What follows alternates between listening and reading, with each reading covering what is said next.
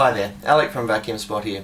Today I'm going to do a real quick video showing you how to replace the handle on a broken hose. Um, this particular one is off a Pacvac, although it doesn't really matter what machine it, it is that you're repairing. Um, look, I'm going to guess that this is split under here. Um, let me just get rid of this tape. These hoses, they're so simple to repair, there's no real reason to go and do this taping up. And the actual parts you need are not expensive, so I don't know. I reckon this is kind of a um, a dud repair if you're using tape. Anyway. Bless you.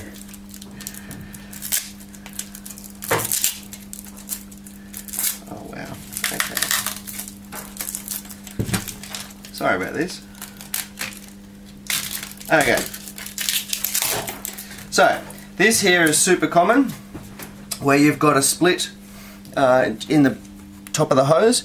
Now, this particular handle you can't simply remove, shorten and replace. Um, I know that from experience, but it would be worth a try at home if you were just going to pop this off. See your little lugs here and here.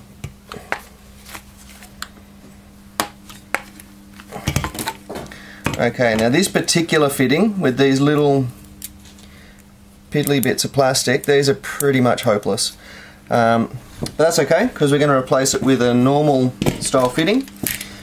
So all you do, just take off your broken bit. Now, give you the proper name for the parts. This here is called a click ring, okay, because it clicks into place. That goes on first. This part is called a hose cuff.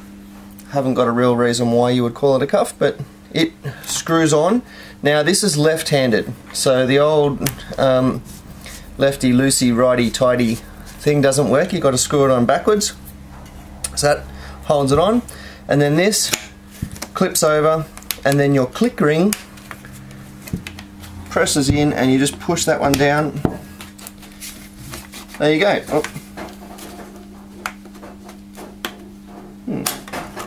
There you would go if we've got a little bit of plastic here which is just stopping our click ring from clicking.